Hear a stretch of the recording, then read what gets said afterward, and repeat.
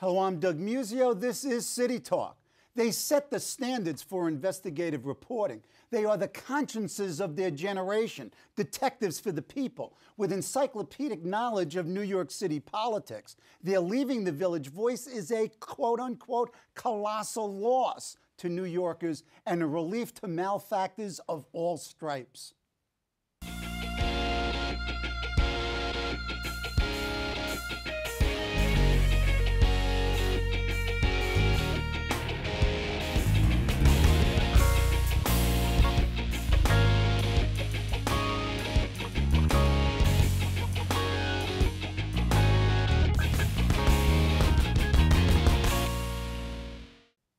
They are, of course, Wayne Barrett and Tom Robbins, muckrakers extraordinaire, partners in grime, equal opportunity squalls, journalism award winners, feared and respected even by their targets. Wayne and Tom, welcome. Thank you. Thank you, Doug. Wayne, I'm reading a post that's on January 4, 2011, and, and it says, It's time for something new. What happened? Why? Well, I said the next line was, uh, if I didn't recognize it, others did. And, you know, and I didn't recognize it. And I, I do think I'm going to do some, some new things and hope I'm not going to walk too far away from that tradition that you just so wonderfully described. But I, I was called into the office very abruptly. At The Voice, by at whom? The Voice, by, by the editor, Tony Ortega. And, you know, he made a, a nice offer, which was consistent with our union contract, which Tom is the union leader, so Tom was present at the meeting. Uh, a nice severance offer. I, had been there for uh, 33 years on a regular basis, but I, my first piece was in 1973 there, before I got the regular column in 1978. And, uh, you know, I certainly was completely unprepared for it. In fact, the last cover story that I did, uh, Tony edits my copy, Tony Ortega. We had the smoothest run we'd ever had. He loved the piece.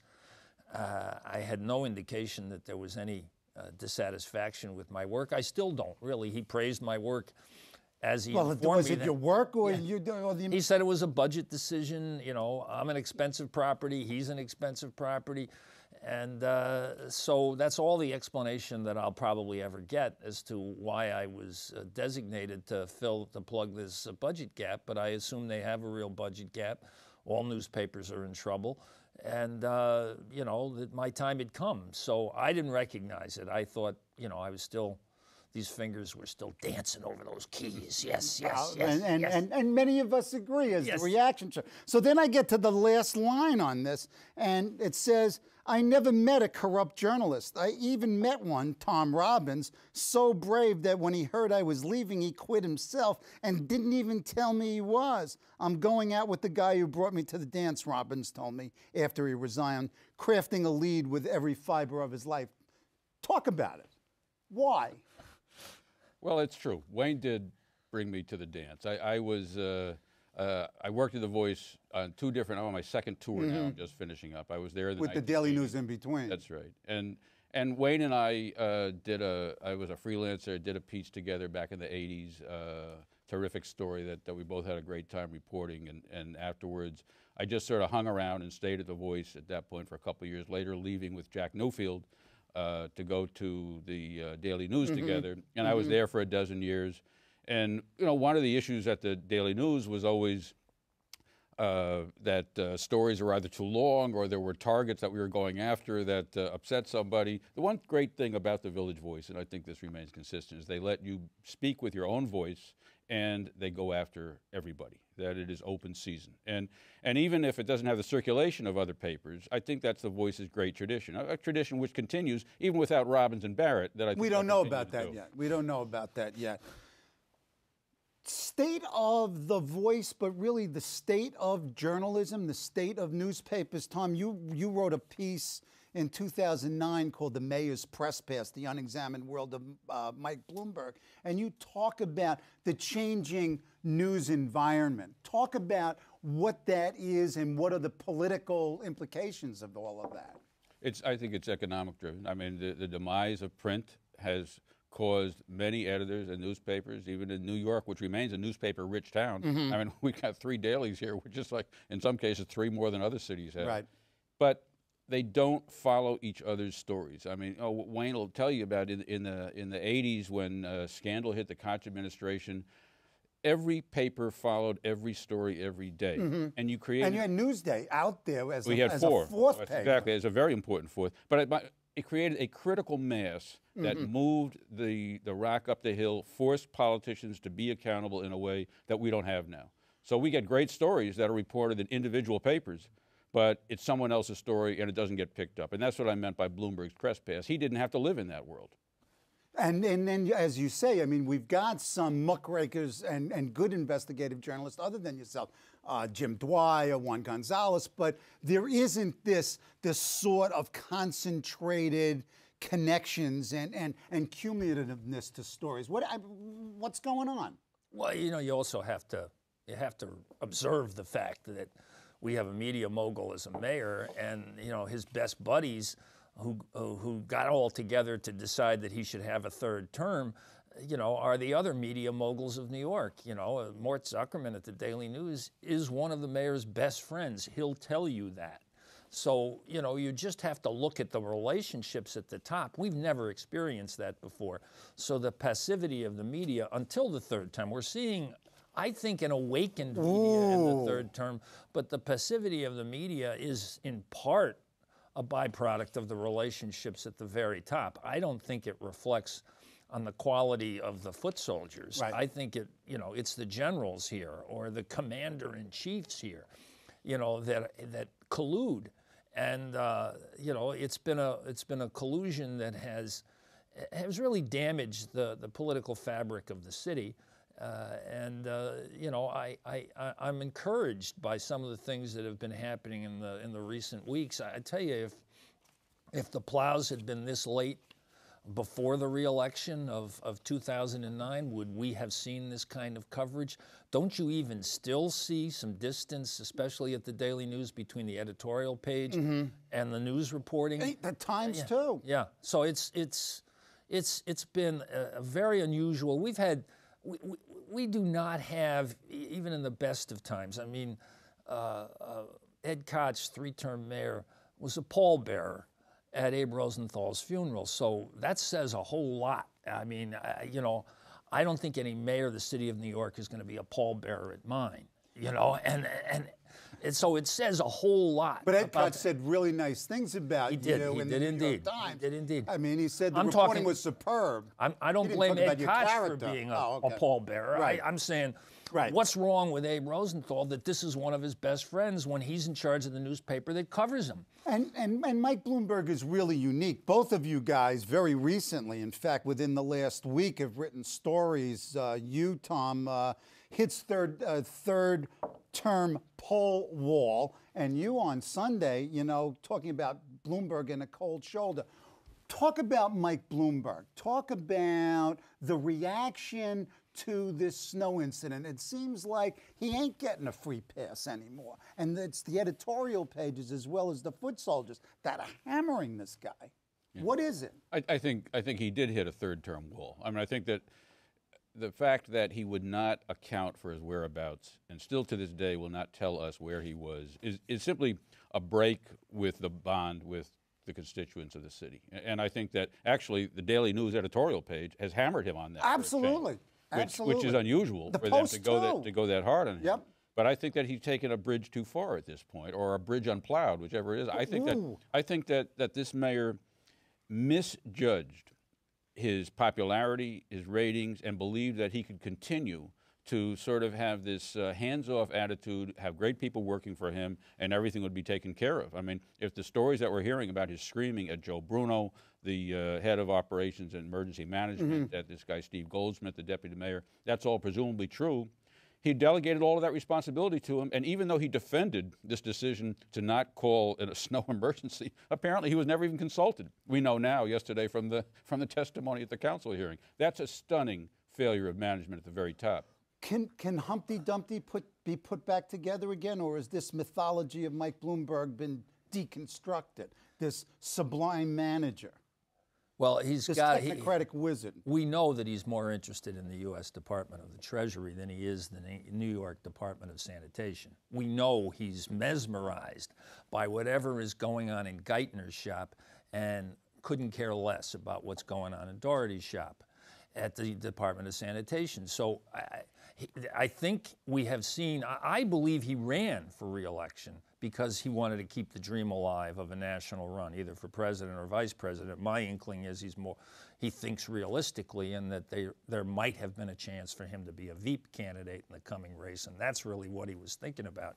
But I, he has been so mesmerized since reelected by national politics that he's lost some of that. I still believe that his first term as mayor was the best term of any chief executive, state or local, that I covered. I think he was an excellent first term. Yeah, mayor. explain explain that. I, I mean, I agree, but Yeah, I, I, I think he still owes us a second term. And, and somehow he managed to run for a third term, I think, driven really by the boredom of the alternatives. You know, I'm going to be, but he's not been really engaged in this job since he was reelected in 2005.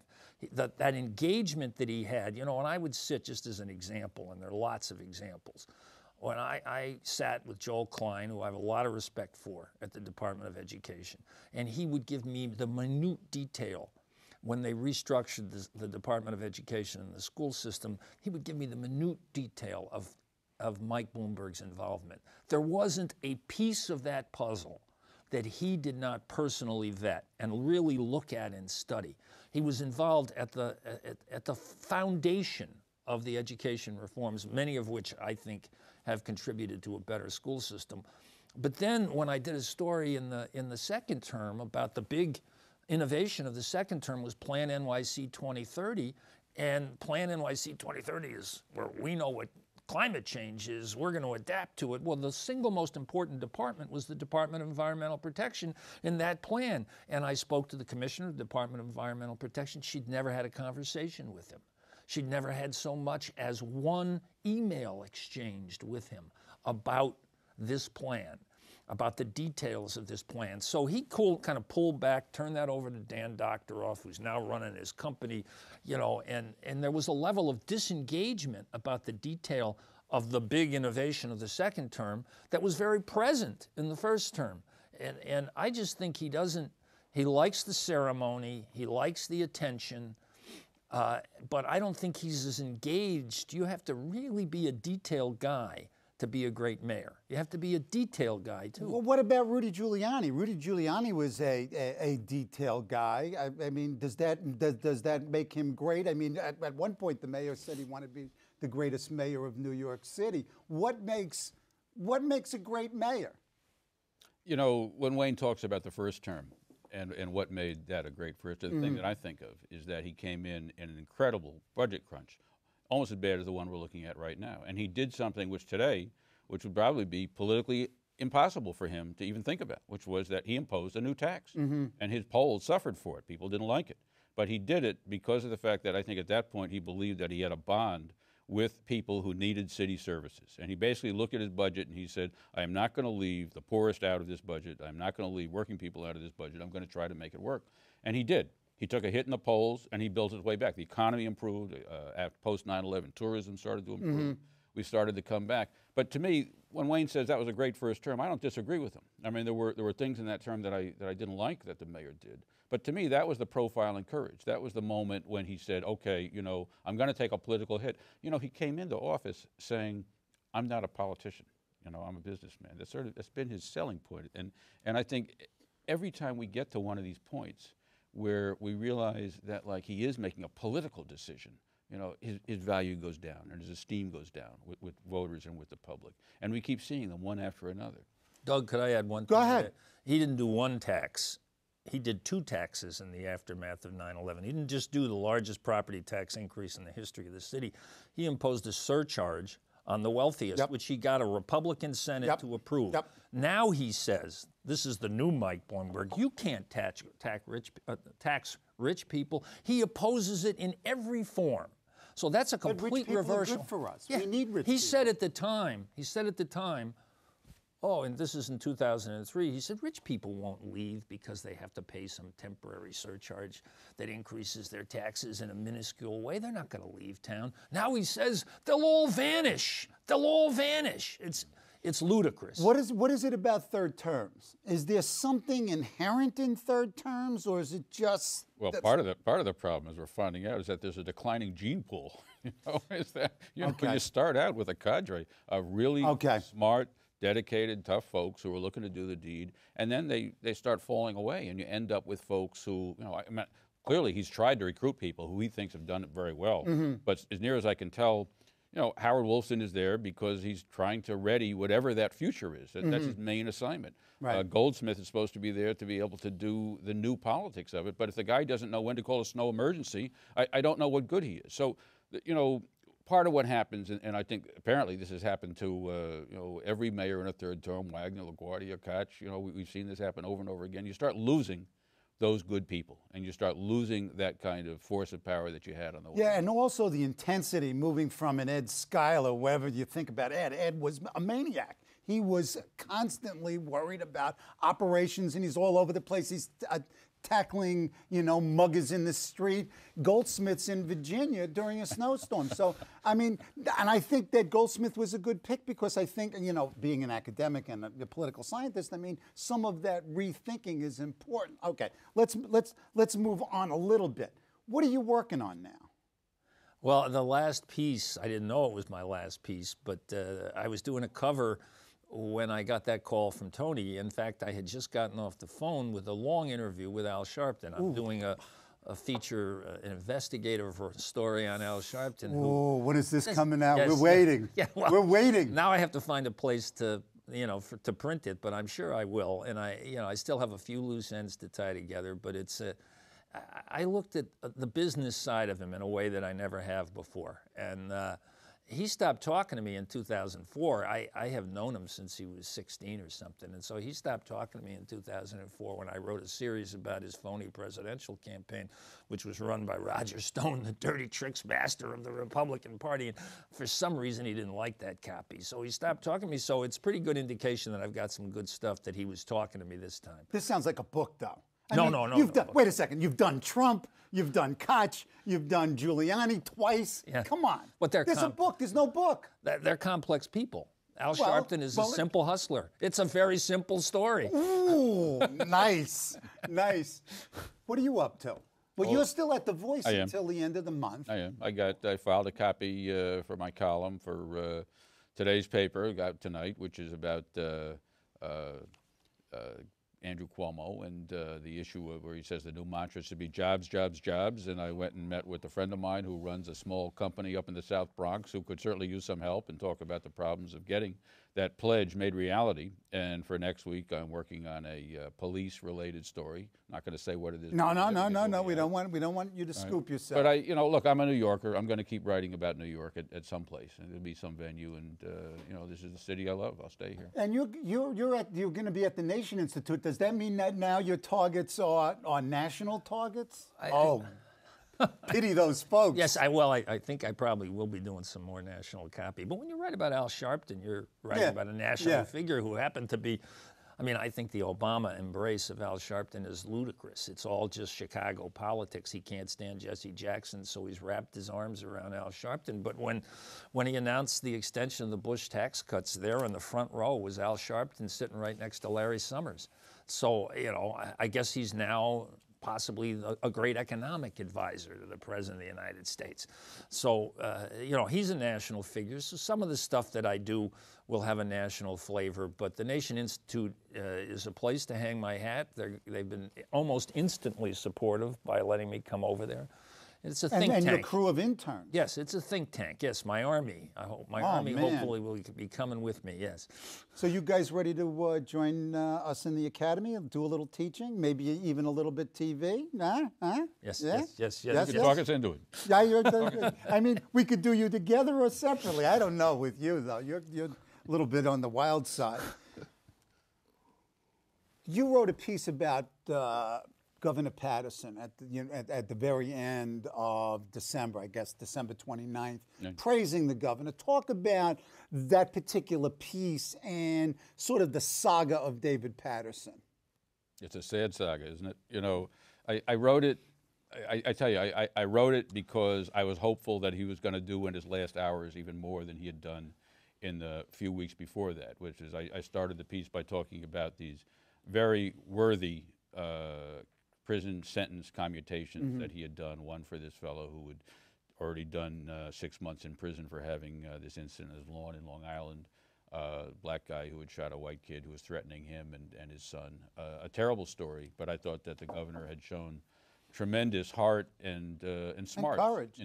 it. Yeah, it was it was a tough one to do, and and then he had appointed this uh, panel to look at all of these immigration pardons. You know, because Mm-hmm. of the fact the Department of Justice is now going back and looking at even minor past convictions for people who do not Yeah. who are not uh, permanent residents. They're they're tossing people out of the country, and, and he did two dozen of those. And again, I, I thought that he showed the kind of courage in those instances that we wanted from him when he first became governor. He got sidetracked by the the uh, Clinton Senate seat. You know, took him down. He got sidetracked by his own problems. But you know, at, at the end of the day, when you start counting up some of the things that happened on his watch, he, there were a lot of achievements. I thought, and I just wanted to point a finger to him. Mm-hmm. You know, I, you mm-hmm. know, he he increased the welfare grant.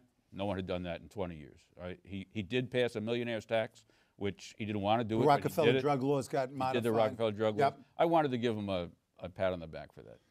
Talk about the joy of your profession. You love doing what you're doing. What is it that attracts you? What captivates you? What makes you smile, Tom? Go ahead. You get paid to talk to people. It doesn't get any better than that.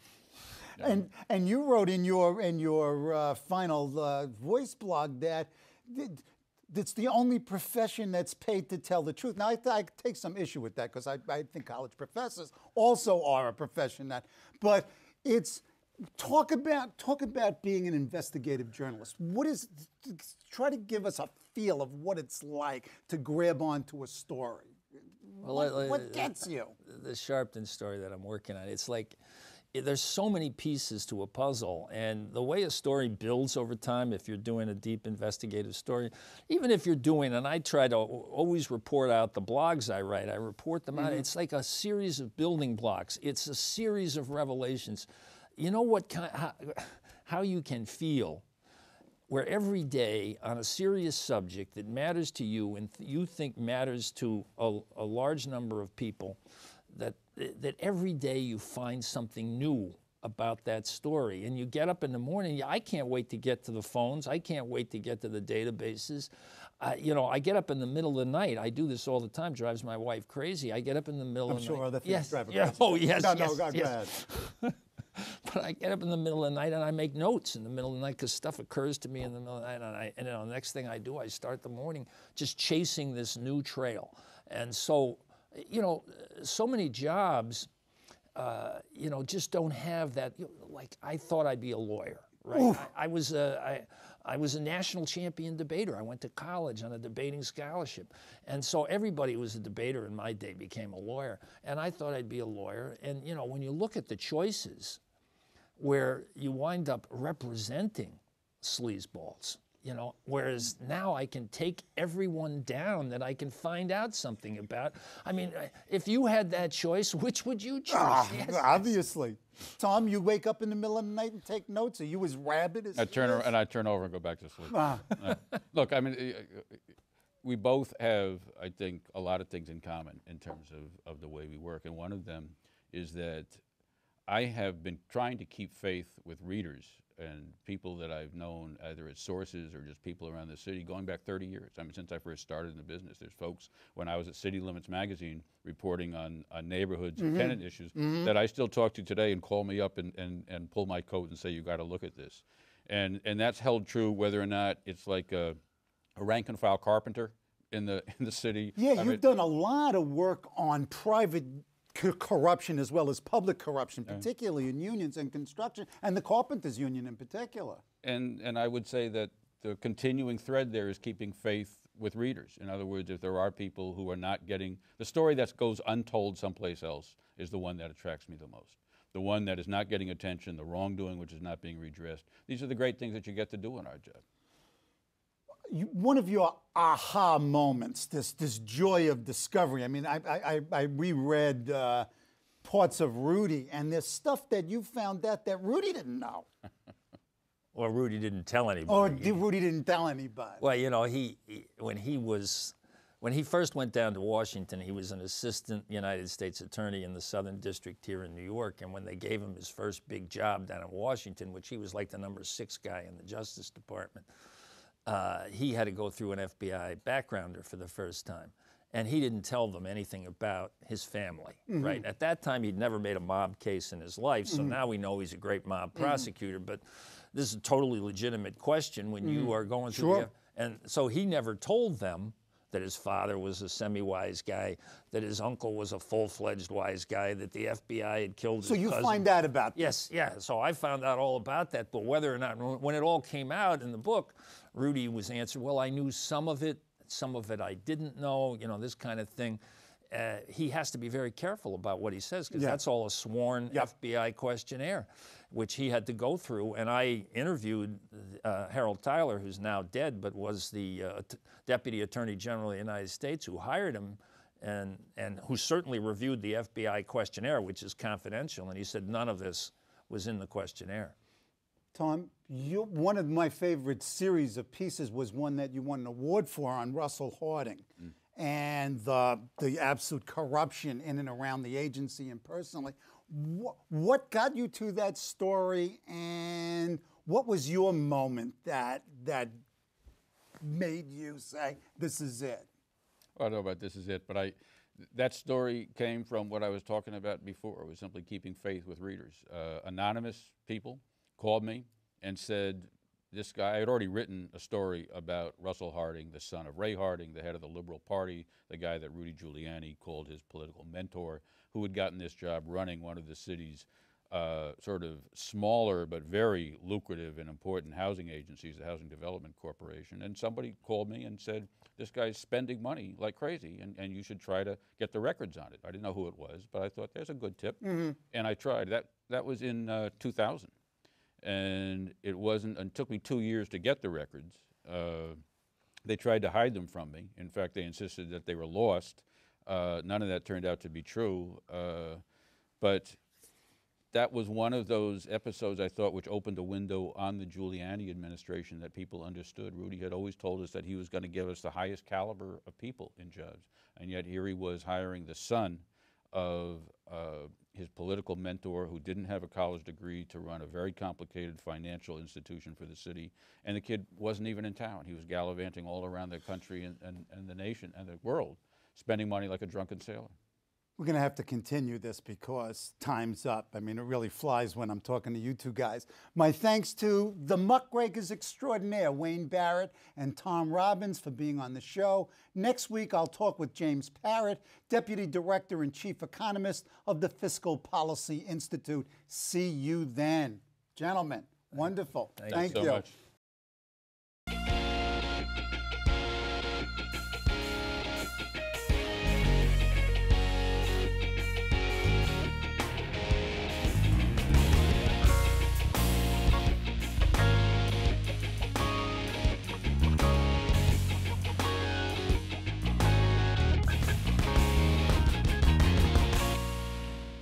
I'm Doug Muzzio.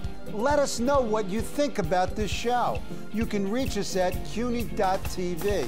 When you get there, click on the bar that says Contact Us and send your email. Whatever it is. Thanks, no thanks, obnoxious, do it. Send it.